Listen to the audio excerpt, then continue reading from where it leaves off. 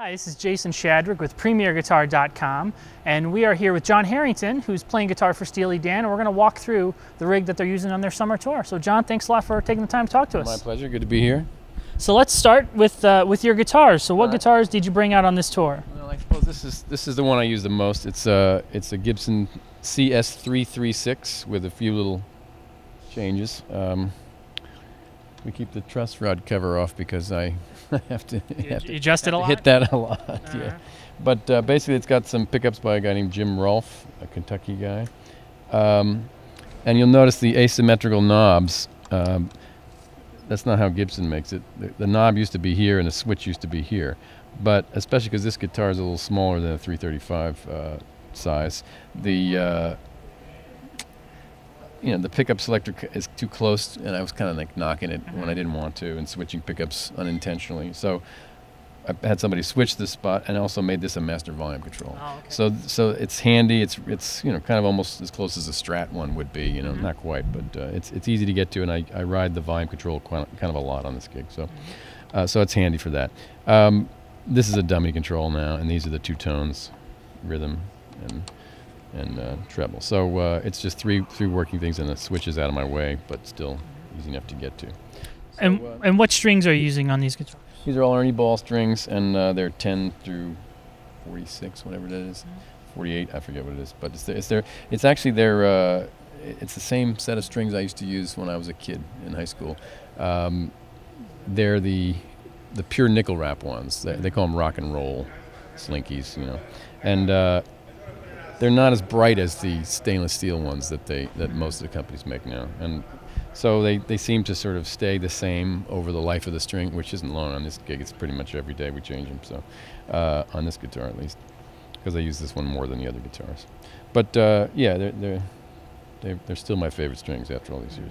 Uh, so um, And is this a fairly recent model, not a vintage one? uh, no, this is a, the 336 is only, is a fairly new guitar. I mean, it, it was uh, I think I probably bought this in 2002 or 2003, something like that. Uh, and it was the first year they had a regular issue of this. It's a custom shop guitar, but but they were sort of making them and just distributing them to stores. And so I saw a couple in uh, New York where I live, and, and finally picked this one up. So this is an old Telly that's uh, I'm not even sure it was two pieces from the same guitar originally, but uh, it's been through a, a lot, a lot of fret jobs, and and as you can see, some pickup changes. This was my favorite little mod though that Roger Sadowsky did for us. It's like the Music Man ones, you know. Yeah, yeah. So the the, tru- the truss rod adjustment is right there, and you don't have to ever take this off anymore. So with your truss That's rod what I did. adjustments, what what kind of conditions lead you to messing with that you a lot? We were playing outside in the summer, where it's uh, these guitars sit in the trucks, you know, overnight sometimes, and it's you know, it's got to be like 100 degrees. One time I got that 336 out of the out of the truck, and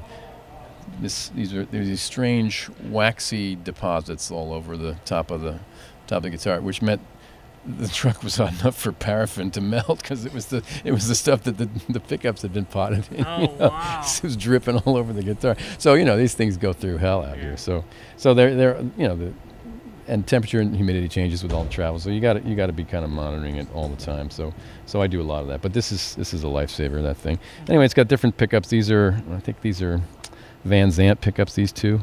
Um, sort of like Strat style pickups. Um, and there's an extra middle pickup that was added, of course, because that's not a stock Telly thing. But I use it a lot, actually alone. So the pickup wiring is different now. The uh, this is the rhythm pickup alone. This is the center pickup alone. This is the the stock Fender Telly pickup alone. Uh, and if I want to get that the outside two, which is which is usually what you get in the middle position of a of a three position Telly switch, I put it in this position and I pull this up, and that turns this pickup on with this alone. So then I get the two outside ones, which is cool. And you can, you can hear that if you want. There's the stock uh, rhythm pickup sound. There's the, the twangy treble pickup, and then and this is the this is the middle. Yeah. So, so it's, a, it's a different kind of tone from from this one, which is this one and that one together, the outside Yeah. two, you know. That's uh, but that's a useful one too. So, so you can get them all, which is very cool. And what tunes in the set do you uh, do you pull out the telly for? Well, the, the, the big one for this one is uh, A19.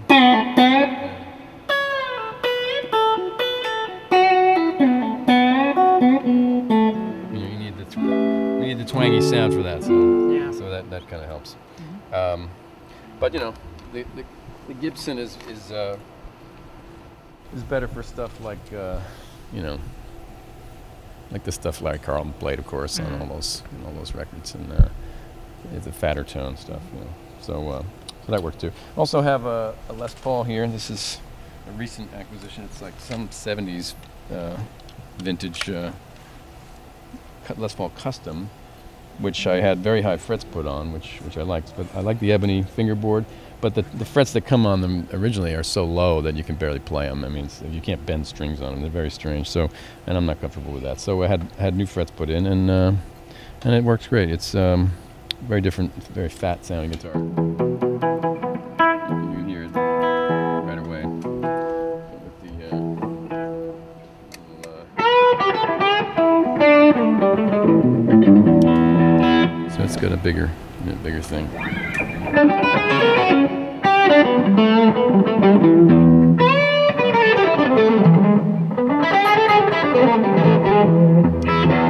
Got the uh, amp uh, attenuated a little bit right now, so it doesn't sound quite the same. But uh, And are those stock pickups in that? Mhm. these are uh, no, I don't know what was in them when I got it. So I put um, these are Lindy Fralin's uh, most recent sort of PAF kind of style pickup, and uh, and I like them.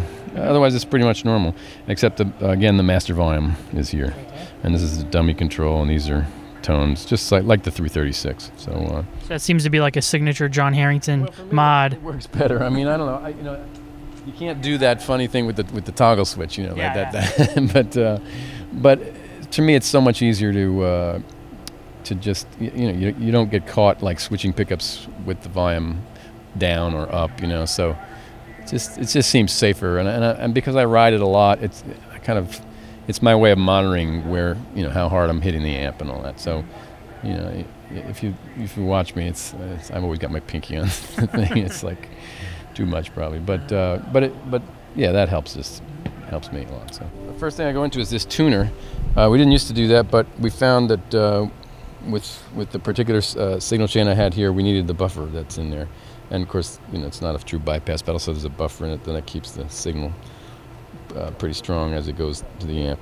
Uh, so we start with the tuner. It's in bypass mode so that uh, I can actually see it when uh, when I'm playing. You know, the sound. You know, you don't have to. It, it's on all the time, and so I can see it. Um, if I can't hear well and uh, I'm bending a string and I want to make sure I get to the right note, I can do that if I need to. Um, and you know, to, I can use the next thing we go. To, let's see, where does it go next? It goes into the uh, this problem solver here. This is an RC booster, and uh, you can see I have two of them on the board. But the this one I use only when I switch to the telly because the telly is so much uh, has so much lower output compared to the Gibson guitars that it, it hits the amp completely differently. So to make life a little simpler and to keep me from having to run back to the amp to change the volume and all that, I just uh, when I just make a habit when I when I switch to the telly, that goes on. But it it's set for just a boost that compensates for the lower output of the telly. So uh, so that's the second thing we go through. Uh, we then we go into this this Vox Wah. It's a it's a pretty fancy one with lots of bells and whistles, but uh, I just kind of I got it taped up so that it stays in the same position. The knobs don't move, and uh, and it's just uh, it's just the simple. Uh, I use it on a pretty stock stock. You know, the simplest sort of, I guess, vintage. You know, patch or whatever. It's not really a patch, but you know, the setting and uh, and um, don't use it much, but uh, it's there when I need it. Uh, let's see. After that, where are we going? We go. It goes to the volume pedal. It's just a standard Ernie, Ernie volume, Ernie Ball volume pedal, which is mono. And uh, out of there, we go to this other RC booster, and um, that one I have set so that it's. Well, basically, because I'm not using any overdrives, and I don't, I don't use the gain on either of those boosters. Um, again, they're just sort of problem solvers for me. I'm using the amp for all the gain. Um, so when I switch, but but generally because I'm mostly soloing on the treble pickup, I have the amp set for the tone I like on the treble pickup. But there's a couple tunes uh, where I need to use the rhythm pickup to get the appropriate sound to solo on. So because when I switch to that, well, you'll hear. I mean, if uh, if I set the amp is sort of set for the treble pickup, uh, you know. So it's got some bottom, and if I switch to the, uh, if I kept all that the same, and then uh, it just gets it's too much on the bottom. It's, this pickup's a little hotter, I guess, and it's it, it's just too much. So so this just I have it set to suck out some of the low end, and so then anyway, when you do that, it sounds more like the thing because it wouldn't work the other way. It's a little too fat. This, so I, I have the treble up on it. The bass is cut. Mostly it's cutting bass, you know. But and the volume's staying about the same. So. Uh, yeah.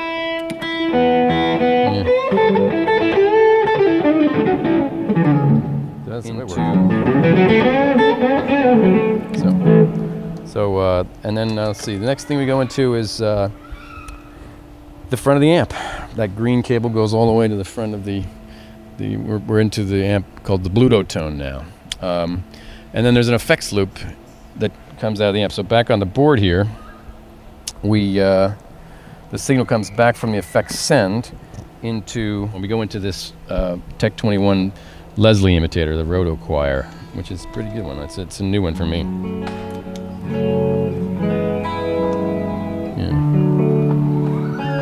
That kind of almost acts a little bit of a chorus pedal too, right? Sort of in that phase, you know, you, you can you can you can speed it up and, and slow it down. It's got a you know that ramp thing, but uh, but the, and I don't use it much, but there's occasional times when that seems like a cool sound. So. Uh, know, so it's got that, and then, uh, but that's in the loop. Uh, the first thing in the loop. Then we go to the this tremolo pedal. I got them all taped up, so it's just so the settings don't move from day to day. But You don't have any like super secret settings you're trying to keep for yourself. I'm not trying to hide anything. This is uh, this is just uh, you know tremolo, which uh, the Voodoo Labs. Uh, yeah. Yeah.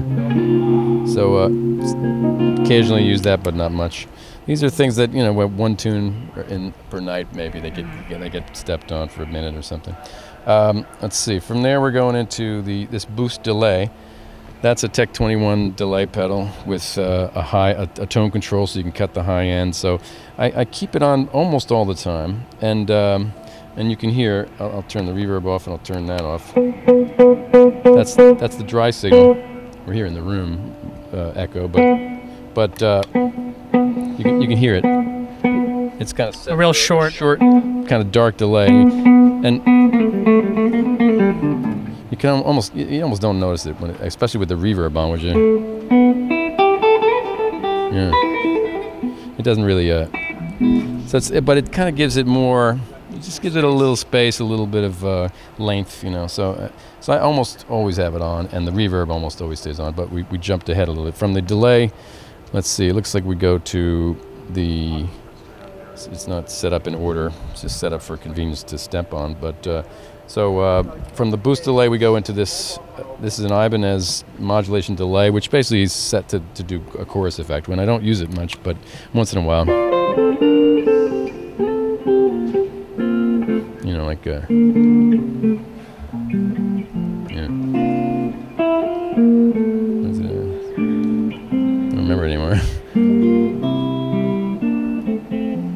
so uh, and and so I have some. I have that if I need it. I don't use it much again. Then uh, looks like we go into this uh, regular old Boss delay pedal, which uh, has probably hasn't been stepped on in the show for. Uh, for several weeks, once once in a while, I just don't use it much. So, uh, and then uh, then it go then we go into um, I guess from there we go into the reverb pedal, and that's the last thing in the effects loop chain. So basically, it's pretty simple. There's a few thing, few items in front. The, the you know the tuner, the wah, the tuner, the RC boost, the wah, the uh, the other art, the, the volume pedal, the other RC boost. Then we're into the front of the amp. Then in the loop we got the roto choir, we got the, you know the Leslie, the the tremolo, the the chorus, the the delay that I keep on most of the time, the long delay that I hardly ever use, and the reverb that is, is on almost all the time too. The other stuff on this board are uh, channel switchings for the for each of the amps. This is the uh, a boost control for the Bludotone amp. This is uh, a channel switching control for the Bludotone amp, and this one is for the Guytron amp. It uh, just switches. It's a channel switching amp as well, and so it's A channel or B channel for that one, depending on which amp I'm in. I'm plugged into the Bludotone at the moment, and this one is uh, this is sort of uh, you know like a it's, it's in that Dumble mode, that, that Dumble style amp, and uh, it's uh, it's an amp I'm getting used to this this year on the road for the first time. Uh, it's it, I, I, found it originally a little harder to use than the Guytron, which I've used for like 10 years, but uh, but I like this very much. It's a it's a beautiful sounding amp, has a beautiful clean sound, a big fat tone, and uh, it's um, it's it's a channel switching amp, but it, but the channels are a little bit interdependent. Like this this first volume control is always in, you know, when you switch to the next channel, that's still you know affecting your signal. So so a, it takes a little uh, little getting used to to, to get the get both channels dialed in right. But uh, uh, but it's it's a, it's an interesting amp and it's a, again it's a beautiful sounding amp. So uh, that's that's what I'm in now. Uh, but the and I see you have it mostly on the rock the rock setting instead of the jazz setting. The rock setting, uh, yeah, it stays there, and um, and we use the foot switch to change the uh, to, to do the boosting and to change the to kick in the overdrive section of the amp. You know. It does have an effects loop uh, and a buffer for that effects loop, a tube buffer. That's this thing here. This is his loopulator, um, and uh, you know, so that, that takes a little getting used to too because there are more controls there. But uh, but it's it's feeling pretty comfy now. But the amp is a 100 watt amp. It's a 6L6 style amp, and it's, it's loud. So I found this very useful. I got uh, the THD hot plate to uh, so I can dial down the uh, overall volume and still keep the tone happening. And it, and it's it works really great. I, I, almost always right now we're on the lowest setting I have on the THD because we're uh, you know we're not competing with anybody else, and I don't have my plugs in. but uh, normally I I, I uh, have it down like 4 dB from from wide open. So but but that makes a lot of difference because it, it, would blow your head off. I think you know if you were up all the way.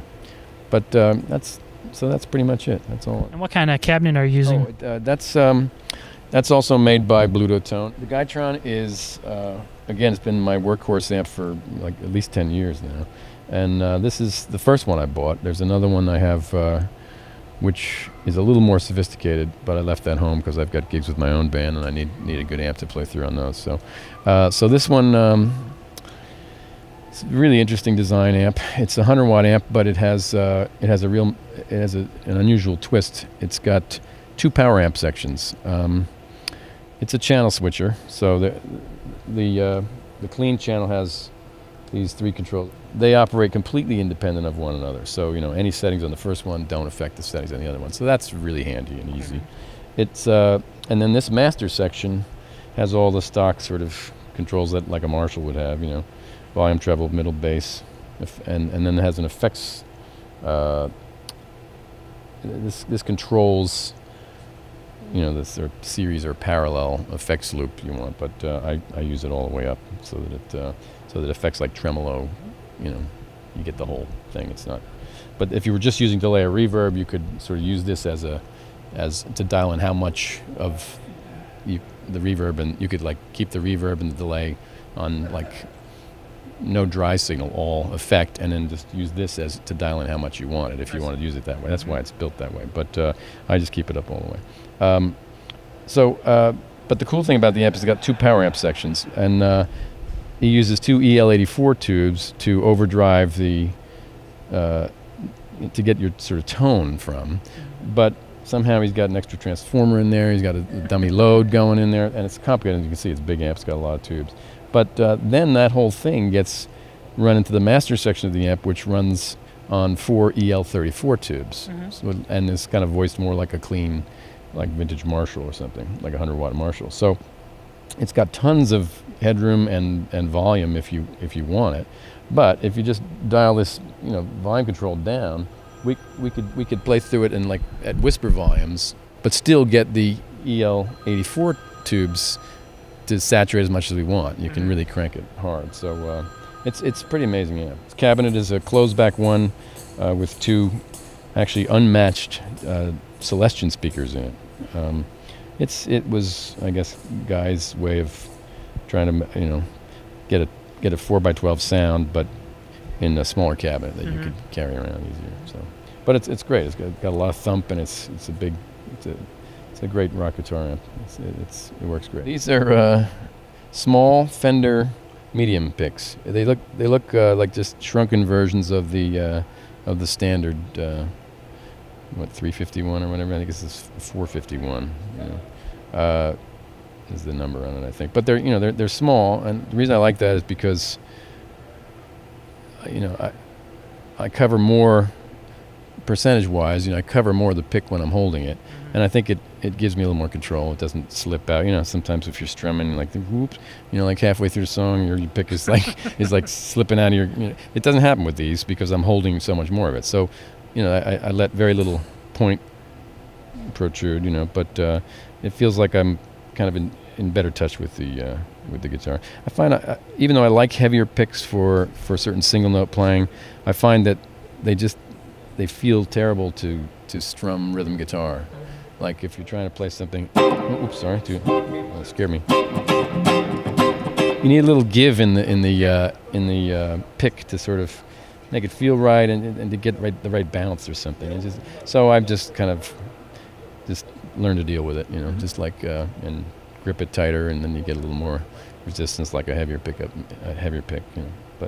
But All right. Well, so if people want to find out uh, what dates you're playing with Steely Dan or with your solo band, where should they go online? Well, the best place to look is is on my website. It's uh, jonherington.com, and if you think in threes, you'll find it. It's uh, www.jonherington dot com. So if you think in threes, you, you get there. And uh, there's a touring page uh, on the website, touring tab you can click on. There are Steely Dan dates listed, and there are Jon Herington Band dates listed, and uh, I'm going to try to keep that up to date and keep the calendar full. so. All right, Jon. Well, thanks a lot for taking the time to talk to us. Jason, appreciate it. This is Jason Shadrick with PremierGuitar.com.